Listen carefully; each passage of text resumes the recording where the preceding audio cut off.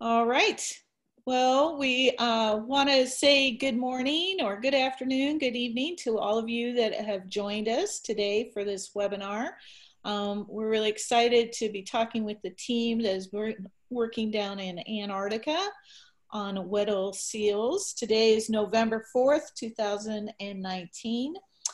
I am Janet Warburton with ARCUS, and I will be um, hosting or I guess helping out with this um, event today. Um, although the stars of the show, hopefully you can see them in your video, are Bridget and Heather. Um, uh, accompanying me today is Judy Fahnestock. So if you have any questions, you can uh, send us um, issues through the chat window and uh, we'll try to address them as we go along. This event, by the way, is being uh, recorded and we will have uh, the archive online. If you have to leave early for some reason today, um, you can download the rest of it um, in a couple of days. Also, this morning, um, Judy sent out an extra um, email to everybody that registered um, and it included a worksheet that Bridget um, can explain in a little bit, but it was a worksheet that will go along um, with this presentation if you have students in your class. Um, we'll also post it online after the event and you can access that worksheet then too. Um, as we go along here today, we'd like you to introduce yourselves. A number of you have been saying uh, where you're from. Oh, we do have somebody from um, overseas in Germany, so welcome. Um, we'd like to know who's joining us and if you have students, and it just gives us a sense of um, people that are virtually present or uh, joining us today. Uh, so a little bit about PolarTREC and the programs. The reason why Bridget Ward is down in Antarctica um, is she's a lucky gal. This is actually her second attempt to try to go down there. She tried to go last year, but they was unable to do so. I'm sure the research team will talk a little bit about that. Um, but she's part of a program called PolarTREC, where we place uh, teachers and informal science educators with researchers like Heather um, in both the Arctic and the Antarctic for field-based research experiences. And um, PolarTREC is run by a nonprofit called Arctic Research Consortium of the United States. We're based in Fairbanks, Alaska, and Judy and I work with ARCUS. And we run the PolarTREC program, um, and we've been doing it since 2004. Um, if you have questions during today's event, we hope that you'll type them in the uh, chat box. Uh, uh, Heather also has a uh, computer and she's monitoring chat and will try to answer questions. Her and Bridget will go back and forth as they go along, but if they don't catch them, we will also relay them at the end. And you can also, um, at the end of the presentation, uh, let us know that you want to ask your question live. All right, with that, I'm gonna turn off my microphone and let this uh, go to the uh, team and have Bridget introduce um, herself and the research. So go ahead, Bridget. Hi, hi everybody. I hope everyone can hear me. Uh, so we are down at McMurdo Station today. Um, we are sitting in front of the printer currently, which is, is, is working. Um, so we are studying Weddell seal pups down here and how they're growing and their metabolic rates. And if you are following along with the worksheet, so far there have been five seals. So keep on going. It, it is in order, so no worries there. Yeah. Uh, I'm Heather Liwanag, and I'm the uh, the lead for the team. So uh, this is I got this project together, and and we brought Bridget down to help us out and to help communicate what we're doing to everybody. Do you want to give a shout out to her? She's on. What's that? She's on the screen right now, right? Who's on the screen? Sorry. Our artist. Oh yes, and I know people were asking about the the sticker at the bottom left of the of the corner, and that was designed by Kirsten Carlson, who I believe is on this morning from Germany. So, hey, Kirsten, she's amazing. And she was down here with us two years ago and was inspired by one of our little seals to make that picture that you see in front. Yeah. That is cool. an uh, awesome uh, sticker. Yeah, just tell me next slide, okay? So I know. next slide. yeah, go ahead so we can introduce our team. All right, so this is our team. We have Heather. Uh, we have Linnea, which is another PI. We have our two veterinarians, Heather and Emily. Uh, Emma is she in her PhD program now? She just started her PhD. And then we have Erin Brody, our vet tech, and me, Bridget Ward. Go next slide.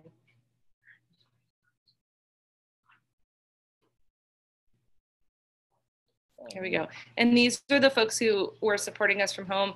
Lars is also at Cal Poly and came with us two years ago. Sean Johnson is the director of veterinary research at the Marine Mammal Center. Sophie was our field vet last time, and Melissa was a graduate student on the project as well. And I gave a shout out to the Brewster brothers, who are engineers at Cal Poly, who built us things to do all of the things that we're going to talk about, including measuring metabolic rates on seals, which hasn't been done for babies down here before our project. Next slide. Another thank you out to NSF uh, and our contractors and our B009 team. They're really important to us because they actually go out and tag all our baby seals so we can identify them. Because other than that, they all kind of look the same to me. uh, next slide.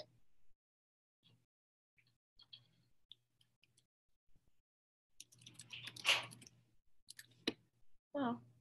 So you can see the tag on the flipper. That's what they go around and add to the babies so we can tell them apart.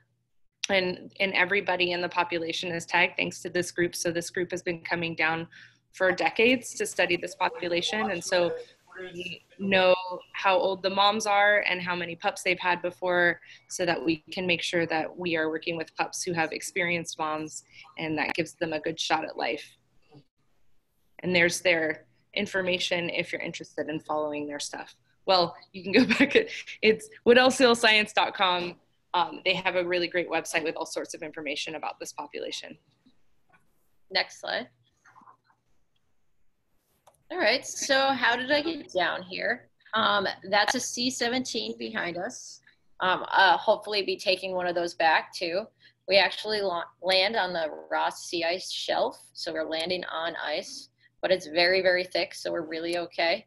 Um, you also can t- see the map, and I flew down from Massachusetts. I had a layover in Houston, flew to New Zealand, and then we took one last flight down here to McMurdo Station. And how long was that flight, Bridget? She doesn't remember. It was so long. the one flight from Houston to New Zealand alone was what 17 to 19 hours. So yeah. it was a long day, a long couple days. Uh, next slide. That's McMurdo Station. That's where we live. Uh, you can see in the background, there's a few buildings. I don't think we can point. Um, but those are dorm rooms. Yeah, we're in. The video's on. There we go. Um, yeah, the, the brown buildings sort of at the back there are our dorm buildings. And it's hard to see the big blue one in the middle, but that's where we eat our meals. Yeah, which are, you know, the two most important places. and there's also the lab, which is set into the hillside. But behind, you can see the sea ice. So that's actually the ocean back there behind the land. And that's where we work every day. But it's frozen. So we just go and drive out on the ocean to go find the seals and do our work each day.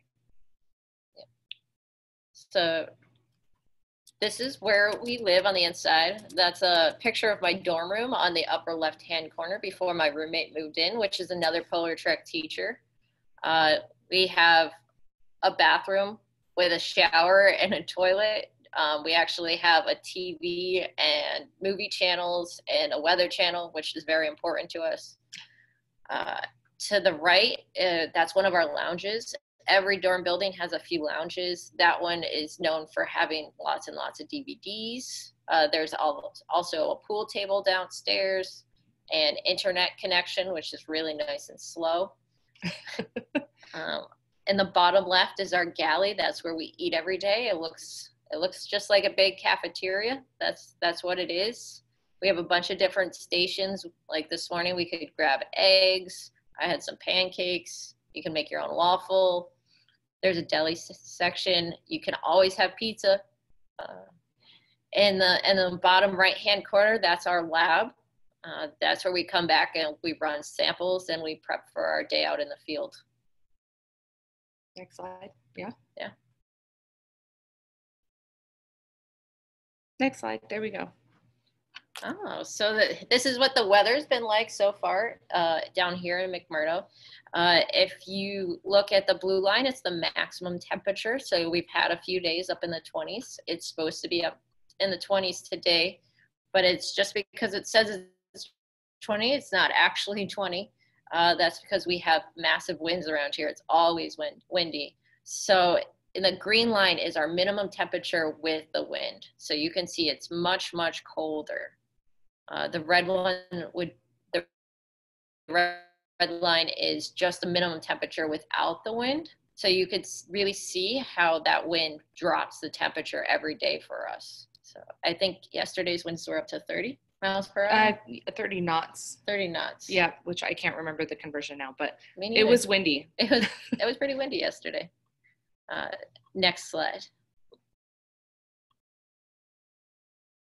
So how do we survive out there? You can see I'm actually stepping on a scale in our lab prep area. Uh, we we can prep there to go outside with all our equipment for the day. We usually drag a few containers out there before we load them up into our vehicles. But I wear about 20 pounds of clothes every single day. Uh, so it is makes it hard to walk around. It actually makes it really hard to step up into trucks. and. Especially for short people like us. Yeah. yeah, it's a little. You got to work on it. Oh, 30 knots is 35 miles per hour, guys, if you're not reading the chat. so 35 mile an hour winds yesterday. Yeah. That feels about right. Yeah, that felt. It was loud too. Mm. Uh, next slide. So what do I have on under all that thatness? uh, so we wear a lot of pants down here in Antarctica. It's an ongoing joke in our team who has how many pants on. Uh, so usually I have about six pairs of pants on. Other members uh, don't wear quite as many pairs of pants. It depends on how warm their body is normally. But I have my regular snow pants on the outside, where some of you guys might wear to go play out, out in the snow. I have three heavy pairs of thermals. I have one or two pairs of fleece pants. If we are snowmobiling, I usually put on a second pair of fleece pants. And right up against my skin, I put a nice soft layer because if you guys have ever had a lot of wool on, it's very itchy, especially with as dry as it is down here in Antarctica. Um, as far as my feet go, I every day I have a pair of hiking socks. It says one pair of toe warmers, but I've been amping it up to three pairs of toe warmers on each foot a day. So uh, I put one above my toe, one above it, below it, and one on my heel. And then I have a very thick pair of socks. And then I have my very heavy bunny boots. They're about three pounds each. Um, as far as gloves go, we have a pair of liners that go right against your skin, and we do that so we put hand warmers in there because you can't put hand warmers directly on your skin. And then a big pair of gloves. Um, and then I have my big red. I have a fleece jacket under that. Every day, I think everyone on our team wears a down vest to keep our core a little extra warm. Um, again, three pairs of thermal, like long johns that you might wear, and that silk layer to keep me not itchy. Um, a balaclava, and it covers most everything except for right here. Um, a neck gaiter, it's a nice extra fleece layer. Uh, either goggles or sunglasses. If I have sunglasses on, I tend to fog up so I, that I can't see.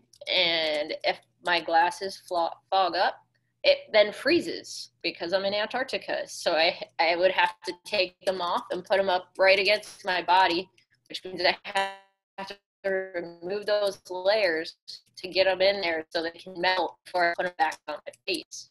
So I usually just have goggles on. Um, and then a hat. And believe it or not, we need to put on sunscreen every day. That's what we remind each other to do because we don't want to get our sunburn right here we also actually the sun reflects off the snow, and that's where you could really get burnt because you don't really think about it, and you want to have your nose exposed so you can breathe better. Nice. Is that everything? Yeah. Yeah. Yeah. All right. Next slide.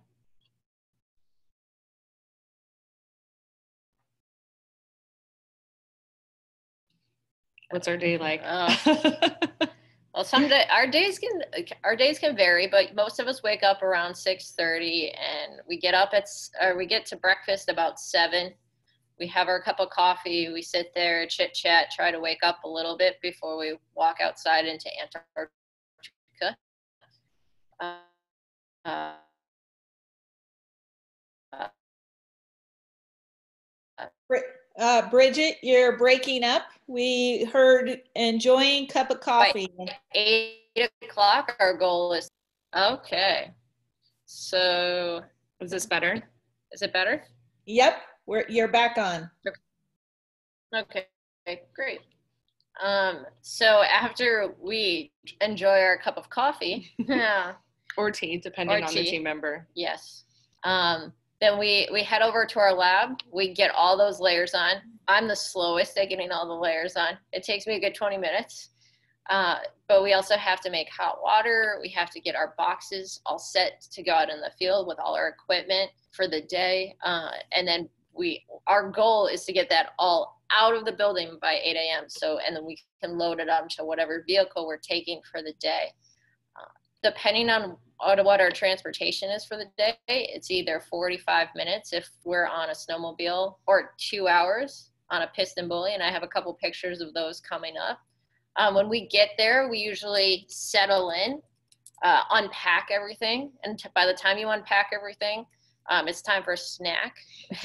it seems like we just ate, but we burn a lot of calories here, so it's very important we keep on adding calories to our our diet. Uh, depending on what our procedure is or how long it took us to get there, we might even have lunch right away, uh, and then we go to the bathroom, get ready. Uh, Sometimes, if we're working with one animal, it takes us about two to three hours. If we're working on two animals that day, it might take us four to six hours in the field.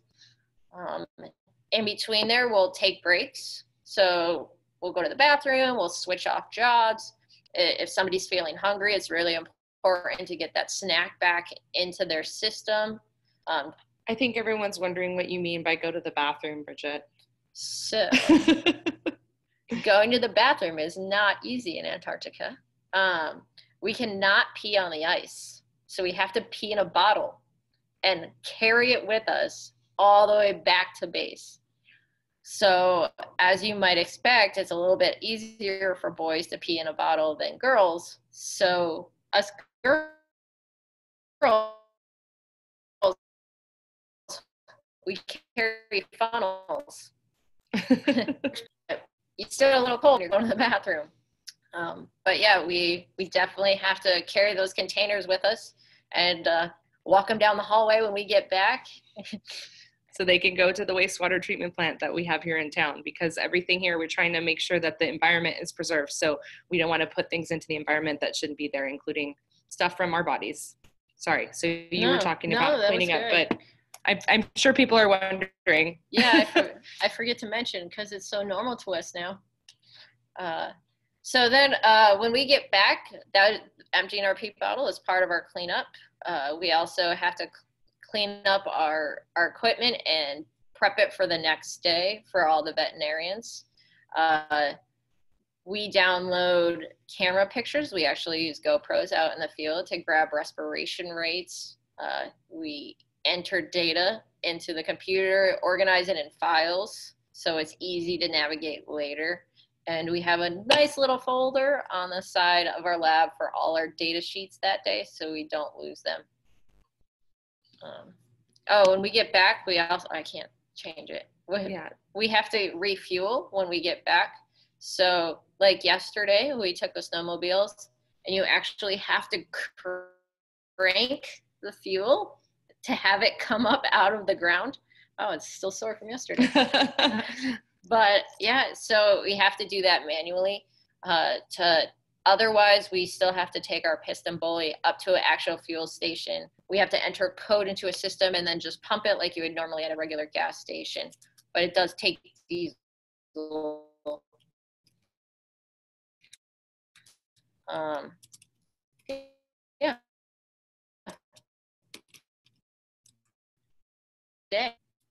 Uh, oh, oh, what? You're uh, breaking Kinda- up again, Bridget. Sorry. Sorry, you're breaking up. Yeah. Okay. We can't hear you at the moment. We're on the, okay, you stopped the video. Are you still there, Bridget? Can you hear me? Uh, uh, yeah. Yeah. Can you hear me? Yes, hear but we, yes, yes, we didn't hear Hello? anything. Uh, yes, we hear you, Bridget. Oh, okay. Um, So we eat a lot of ramen noodles.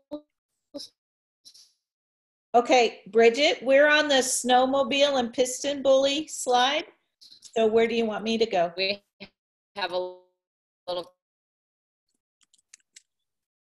cup and we put hot on it. Yeah, we were them through a chat. Can you hear us? No, we can't. You guys are breaking up pretty bad and we can't hear you. We're on the snowmobile and PistenBully slide. Okay. I I don't know if when you were going to be able to hear us. It looks like you can hear us. Uh, oh, Okay. okay. Great. Awesome, guys. Um, so we were just answering the question that came in on the chat about what we eat in the field. Uh, so we eat a lot of ramen. Uh, we eat a lot of candy bars. Uh, and what else? Oh, sandwich. It depends on what we have in the cafeteria that day, actually, because they can hook us up with some really good meals. Um, I think they're vacuuming behind us. That's fine. There we go. Can you hear us now? Can you see us? Okay. Cool. Cool. Yeah. So yeah, we just we need to pack things that have a lot of calories. Some of us there are these little flavored tuna cans that we use that uh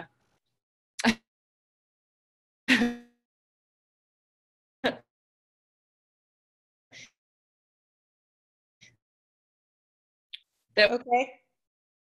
we eat with crackers. Just um, So- so move on to vehicles. Yeah. we had a question about that. Cool. So these are our vehicles, uh, Earweek snowmobiles. Um, that's our one of our veterinarians on the left, Heather Harris, and on the right we have Aaron Brody, the vet tech.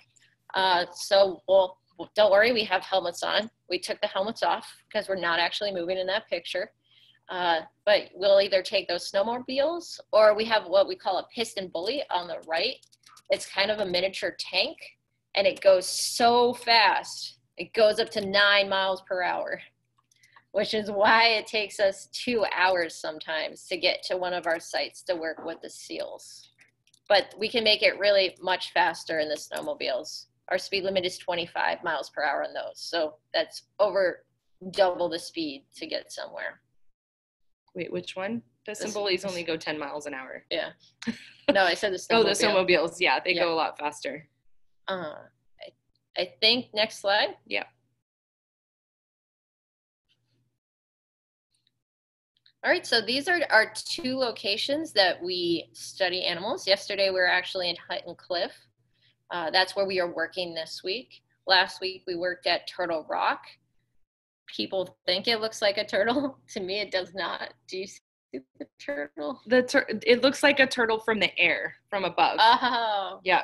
it's- So it's it's it's a little island and it is black, although half of it's covered in snow, which is what you can see in this picture. But it looks like a turtle from up above, like a turtle shell.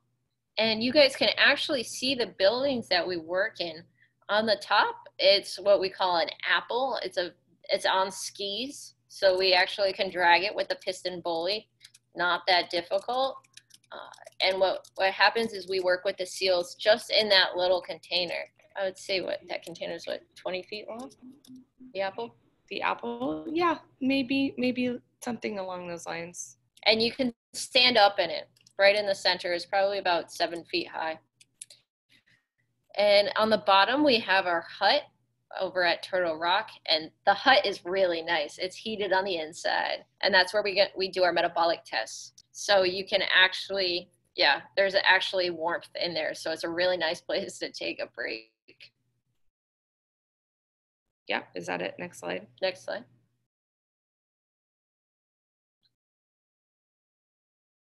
Uh, Can we keep on clicking? Oh, The facts didn't pop up. There we go. Ah, so ironically, uh, Weddell seals are named for a British sealing captain. He used to hunt seals. His name was James Weddell. Um, fun facts: uh, they're the southernmost breeding mammal on our planet. They're all around Antarctica on fast ice. Do you want to explain what fast So ice? is? fast ice is the ice that is essentially attached to the land. If you think about most of the time when you see ice, especially in the Arctic, it's like the little pancake ice that's floating around, the ice floes. But fast ice is more smooth. Do you want to see if we can show them really quick? Yeah, let's see if we can show you guys our fast ice. So right out there is actually that's that's a sea. That's the Ross Sea, and it's all frozen over right now. And think about like your guys' lakes at home, how it it's gonna break up in the spring and thaw, and the ice won't be there anymore. So usually around January and February, it starts breaking up, and all that ice will drift out into the ocean. And we have mountains right across the way. So that's what we see every day. Um, there's cod. They'll eat cod. That cod. They'll eat little silverfish, squid, octopus, but they really like the krill, which is little like shrimp things. I think the silverfish are their favorite, actually. Really? But everybody here eats krill, Uh, except the krill. Yeah, krill doesn't eat krill. uh, so as an adult, uh, Weddell seal will get from eight to eleven feet and up to thirteen hundred pounds. So they get very, very big. Right now, they're not that big. Right now, what yesterday's seal? What Uh, it is? About 130 pounds. 130 pounds at three weeks yesterday. Next slide.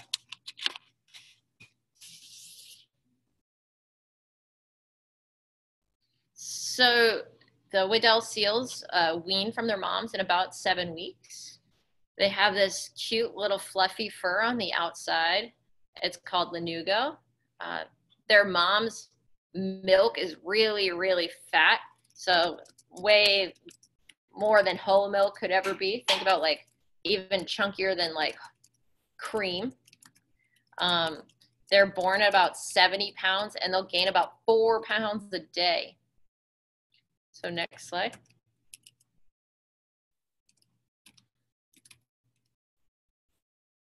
Yeah, I think you're gonna have to click again for the research questions to pop up. So we have two major questions down here what- that we're studying. Um, one, how do the pups stay warm? And how, number two is how they develop into amazing divers. Next slide. I hope you guys are still counting the seals. Oh, Oh, too fast. There we go. you want to explain that? Yeah, so we're we're looking at the early development of these guys. So these these pups stay with their moms for their and then they're their owners. They have them because really good care of them. But we want to understand how oh we're breaking up. Yeah.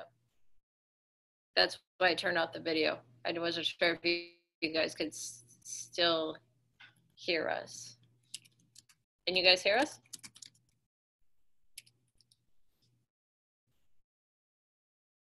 Okay, they say we can they can hear us again. Cool. Okay, that's better. Good. So these pups are with their moms for about six weeks and then they're on their own. And we're trying to understand how they do so well in that early time while mom is taking care of them, especially how they're staying warm because they don't wear 10 layers of clothing like we do. They just have that fur and they don't even have blubber yet when they're born. And then um, as they learn to swim and dive, how do they how do they figure that out as little babies, especially oh. Uh, all right, I'm gonna try to keep our camera off.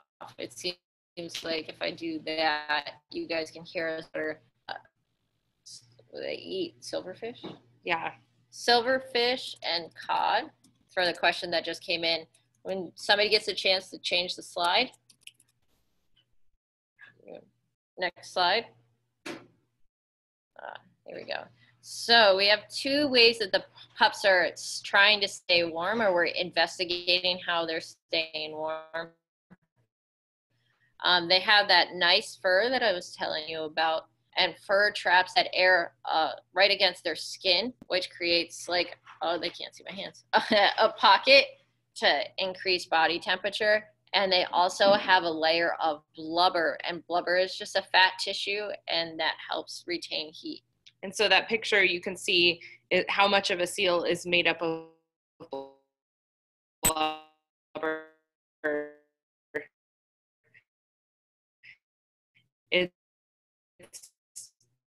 For these guys about half blubber.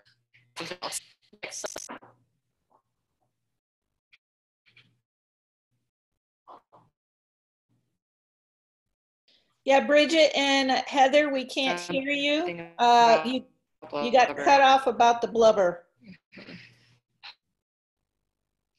Okay, so blubber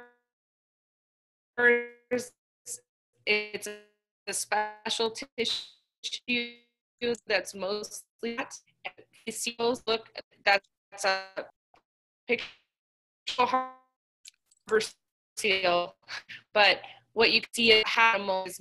I do. Sorry about that, everybody. It's it's um it's a bandwidth issue at McMurdo, and we've probably tapped our uh, time before everybody gets up at the station.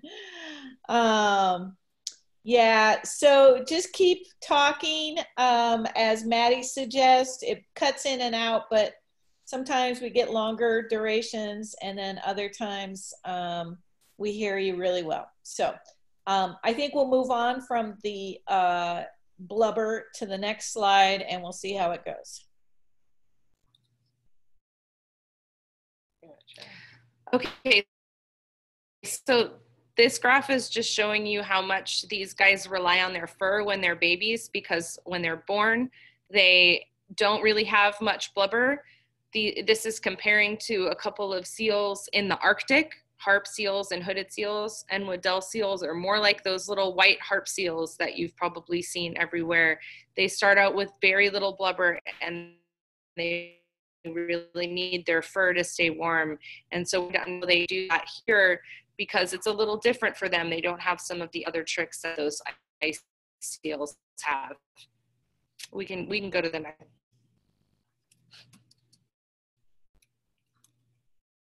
All right, so right here we are looking at our pups from beginning, comparing them to end. Obviously the pups here are just starting to become three weeks old that we're working on.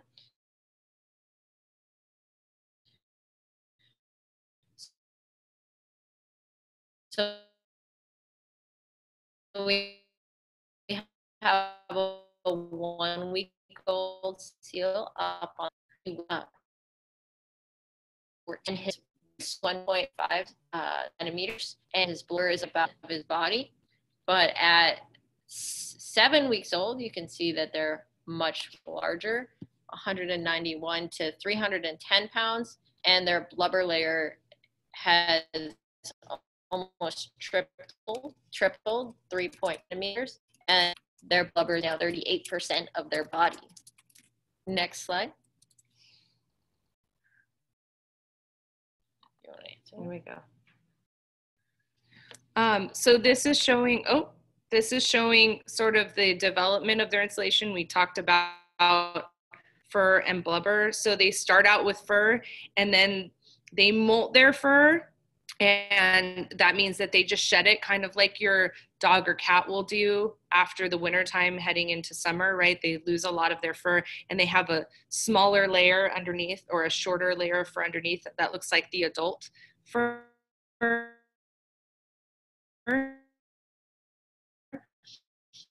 And instead they're going to figure out when the molt happens because it's not well described. And so that's what we're going to talk about next on the next slide. Next slide.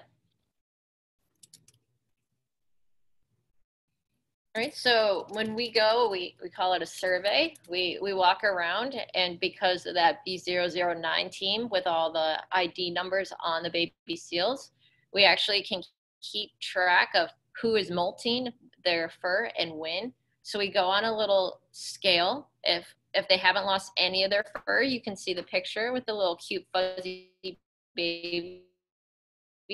That, that's a zero. When they start molt, which started in yesterday actually, um, they start to molt right on their head and necks and flippers. Um, we rate that a one.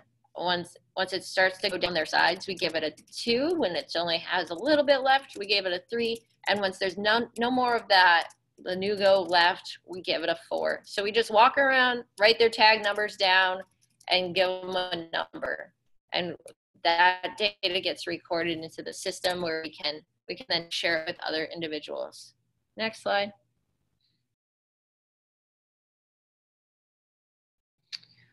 So the second question we're asking is how are they staying warm besides just using their fur and their blubber what else can they do? Because arctic seals need more than that. And we have seen the animals shivering but we're trying to measure that. Do we have a picture of that on the next slide? I think on the next slide. Let's do next slide. Next slide. And there it is. Uh, we have an accelerometer attached. We just glue that on. And when the animal's muscle shakes underneath then the accelerometer will register that and we can measure when they're shivering. It is kind of like a Fitbit. yes. Next slide.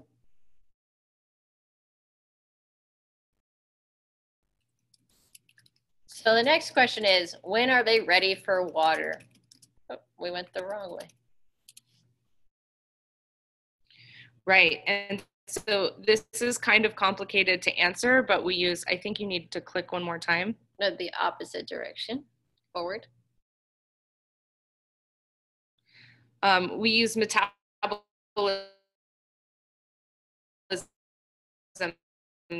to measure that. Oh my goodness, there it is. Okay, one of the and explain that on the next slide.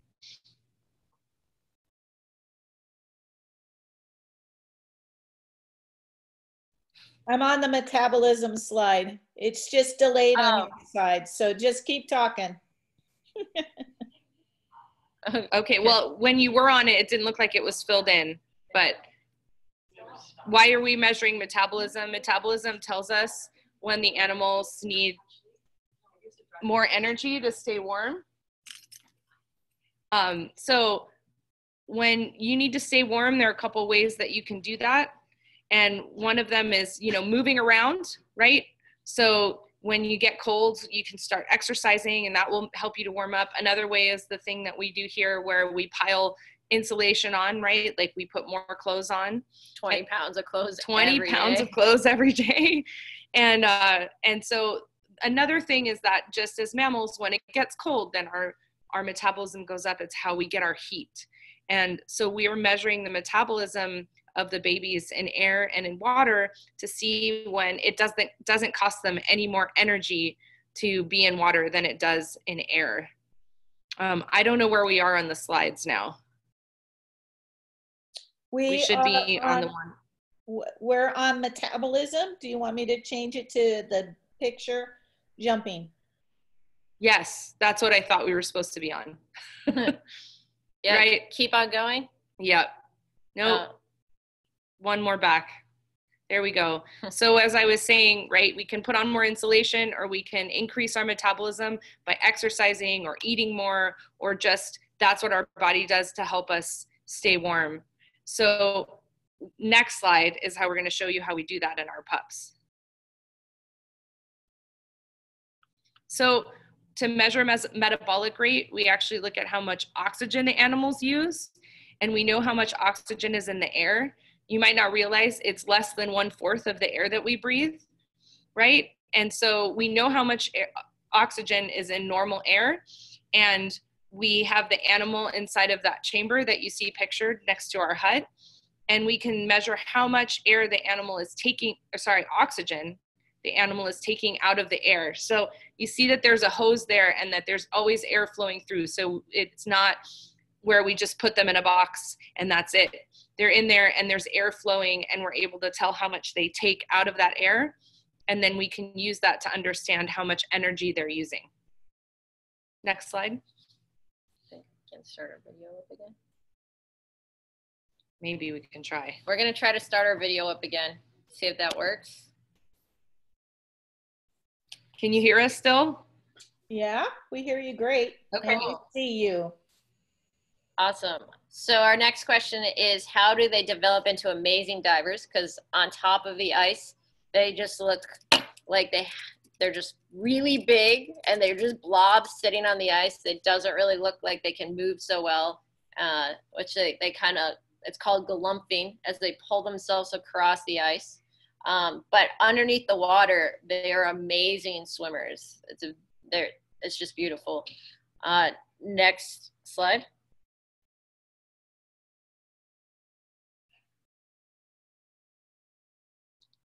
Next slide. I don't know how much the delay is. Yeah. Sorry, Good guys, we're delay. waiting on the. It's okay. We're on the deepest dive, so just keep rolling. It'll show. There we go. So they actually can dive about three quarters of a mile deep. And the amazing thing is they can hold their breath for up to 90 minutes, which is about the length of the Little Mermaid. They could watch that underwater. Um, and what's really interesting is they exhale everything from their lungs and they collapse their lungs before they dive. Yesterday, I was watching babies uh, take dives, and you could actually see them blowing bubbles out from them, uh, the water before they were practicing diving. So the seals are only a couple weeks old, and they're already in the water practicing blowing out all that air, getting ready to to uh, dive. And their oxygen is actually stored in their muscles and their blood. Which is next slide, I think. Yeah, I think that goes in the next slide.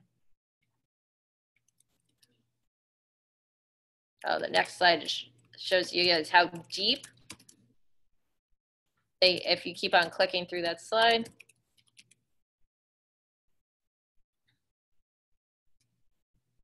Okay, it's all there up to two miles.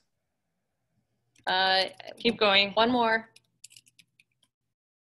There we go. There's our Weddell seals. So they're at three quarters of a mile. Uh, the deepest diving marine mammal would be the sperm whale. So he can almost hit two miles down there, and humans are up there uh, at our at our free divers at an eight minutes maximum. So that's just a little scale on how deep the, the little Weddell seals go. Not little, but big. Big Weddell seals. Um, next slide. oh, keep going. Oh. Three Empire State Buildings deep is how deep they can go if you need a reference. um, so this is showing where You're breaking up. Seals store their oxygen. Human, you were a lot. Turn off the video. Mhm. Is this better? Yes, it is better. Thank you. Okay. So this is comparing where we store our oxygen compared to the seals. So humans rely a lot on their lungs. You can see almost a quarter of our oxygen is stored in our lungs.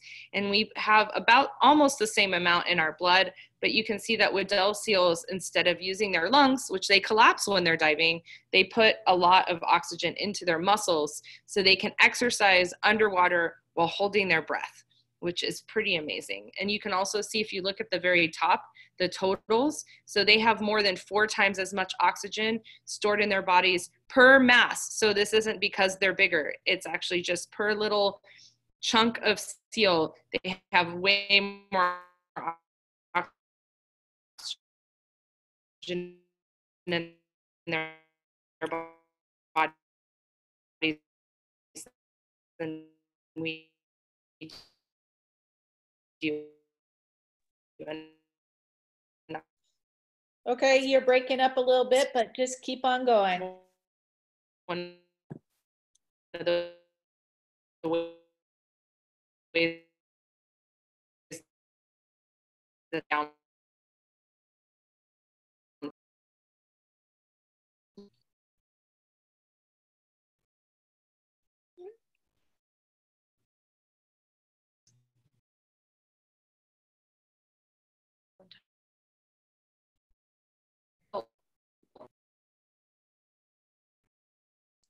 Sorry, we can't hear you at all.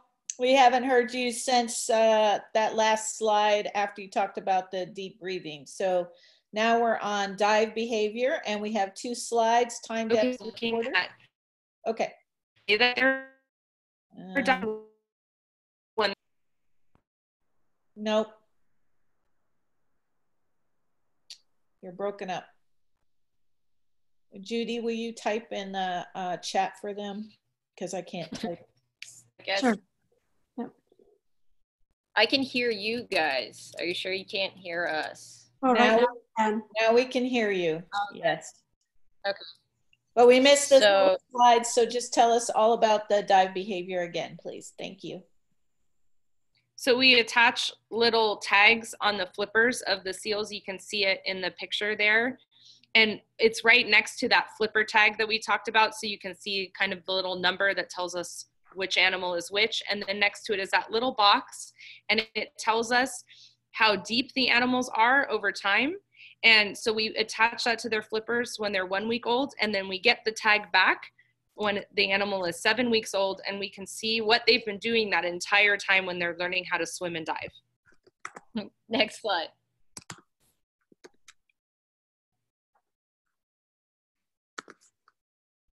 So, any questions? Now's a great time. I know we've been trying to answer them as they come in. And I also realized the bell just rang at Central High School. so Yeah. one question was how many tags the seals get? Can you hear us? Yes, we can. Okay, not yet, no bell. says Um, not yet. So every every tag we'll try. I'm afraid you're not going to hear us if we put our video on, but we'll try. Ev- um, every seal gets two flipper tags, one in each flipper, and that's the the job of the other seal group that comes out here. And we attach those accelerometers on the side of the seal that we showed you. The time depth recorders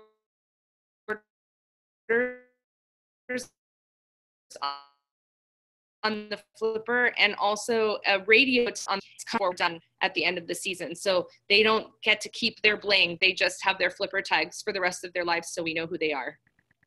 More questions? More questions. Yeah, there were a lot of questions that came through where you were talking. Uh, Judy, were there any that you noticed that didn't get uh, unanswered? Are there any I missed? Yeah. You Uh, can type it again if I missed your question. Judy was tracking some, so go ahead, Judy. Okay, Kirsten asked, what's the coolest unexpected discovery that we made so far during this research? What do you think I mean, I haven't made any discoveries. Well, about what we've learned so far? Uh, I, that's a really good question. I don't really For know. me, it was um, that we learned that so seals, because they were divers, they practice holding their breath on land, and so they usually breathe apneustically. If you've ever heard of somebody with sleep apnea, apnea means holding your breath. So seals usually hold their breath. They practice even when they're on land. But we discovered, and we didn't realize this, that they're not born that way. So when they're first born, they they breathe regularly just like we do in and out in and out and then by about three weeks old is when they start to practice holding their breath so i thought that was really cool and that's one of the reasons that bridget mentioned we're going around and we've started measuring respiration rates this year to figure out exactly when that starts happening we think it's probably right around the time that they get in the water so we're trying to pinpoint that a little bit better I uh, have to say, I, I thought it was interesting that we actually use GoPros in the field. I was, I did not expect that. I have a GoPro at home. I could do science at home. Um, but that and the babies are starting into the water super early. I did not expect them. But Rolo was a Yeah. week old. Yeah, yeah, they get in at about a week old, um, or well, between one and three weeks old, but that's pretty young, and it's pretty cool. Somebody asked, um, do they all get in the water at the same time? So since we're talking about that, no, some of them get in the water earlier than others, and the ones that are reluctant, their moms often will get into the water and kind of call to them and try to encourage them to get in the water and start learning how to swim. Um, one question is how long do they stay in the water that young? So they're usually in for maybe like 20 minutes at a time, and then they'll get out and maybe go back in again. They dry off faster than you would think with how cold it is here. They kind of roll around in the snow, and their fur dries off really fast, which is pretty interesting. But they do shiver a lot when they first get out and they're still wet. And uh, it was really fun to watch them try to get out of the water. So I took some videos yesterday. So keep following my journal because a video will soon follow on how cute it is to watch them try to get out of the water.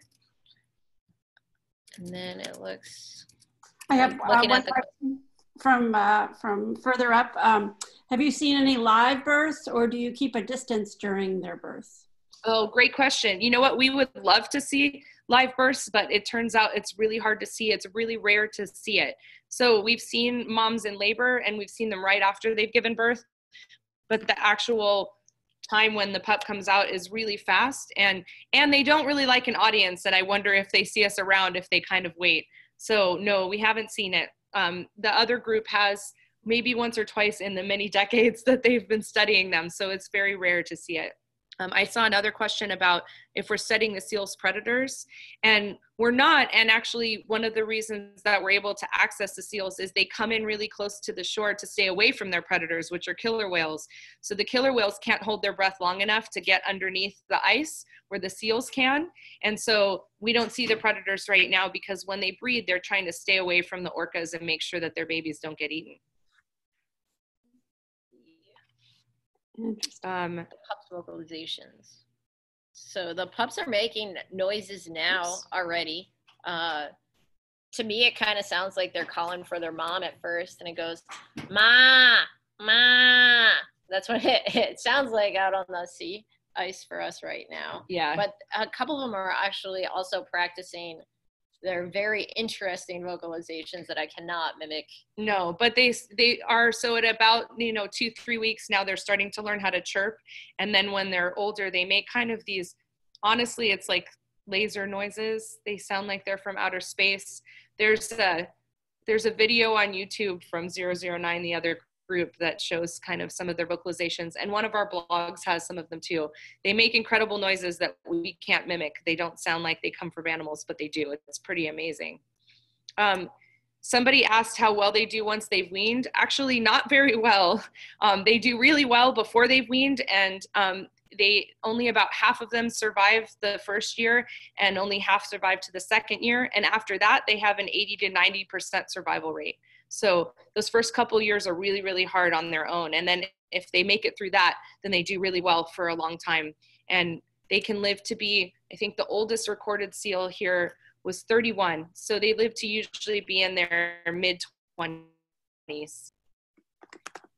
Someone asked, the ice isn't staying as long as usual. You know, here in Antarctica, we haven't been as affected as the Arctic because we have the continent underneath and the ice acts differently than it does in the Arctic. And so we have not seen as many impacts, although this year we've had kind of a weird ice year because it blew out really late in the winter, meaning that all the ice kind of came away from the land and broke up, and then it had to reform, and that took a while, and it isn't as thick as usual.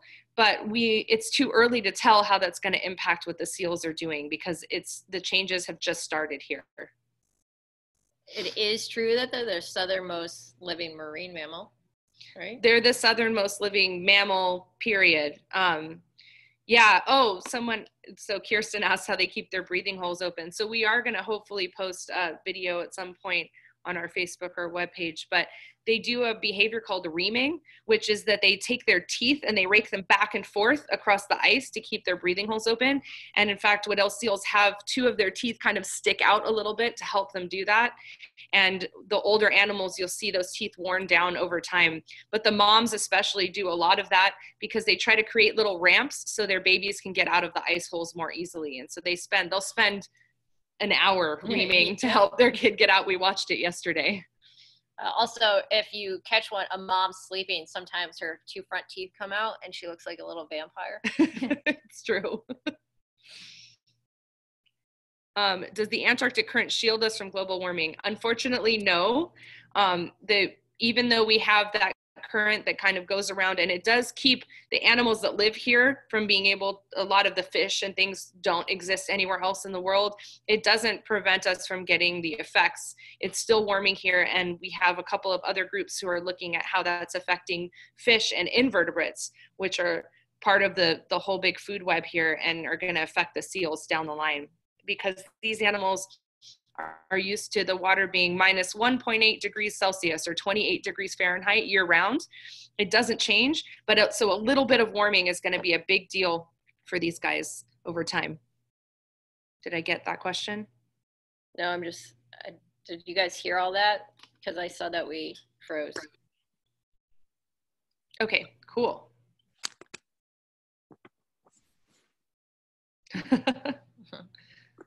Are there any more questions that we missed or you guys have? Um, I'm looking. I don't know, Judy, do you see any other ones? I don't know. I think they were pretty good about picking them up uh, as they were asked. So I don't. Thank you all for being here. I'm, I'm sorry for the delays. It's really hard to talk to you from the other side of the world. No, you did a great presentation. Thank you so much. And uh, um, to everybody that also joined from everywhere, thanks for joining us and hanging out with uh, the SEAL team here. Um, it was it was really informative. Um, and yeah, it, there were a couple of glitches, but I think we got uh, the most of it. And if people um, need to ask about some of those um, slides. They know they can reach out to Bridget through journals and ask those questions. So, um, and also our website is icyseals.com, ICY seals. If you want to check out some more pictures, and we've talked a little bit about what it's like here doing our research as well. It's um, yeah, you can um, Heather. Why don't you type it? Yep, never mind. Judy, get lots of icy seals. Yeah. Can you tell us uh, what you're going to do when you're done uh, right now? You're going to uh, go have your cup of coffee, and then what's on the schedule for today? Um, I have another Skype session later today, but um, we're going to be going out and checking on our animals that we've been working on. We're not sampling today, but even when we're not sampling, we go and check on our critters to make sure everyone's doing well and see how they're growing. And, um, and especially because some days we miss them because now they're in the water with mom. So we're gonna go make sure we see everybody and they're doing well. And, um, and it's a beautiful day as Bridget showed you. So it'll be a nice day to be out on the ice. Um, and uh, what was I going to ask you, Bridget? Oh, Bridget, how long are you staying there? What's your what's your travel plans? When do you come back? Uh, well, I really don't know. Um, uh, there's there's no flights out this week. The C-17 is broken down, uh, so that's going to push the next couple of weeks flights back. Who knows when?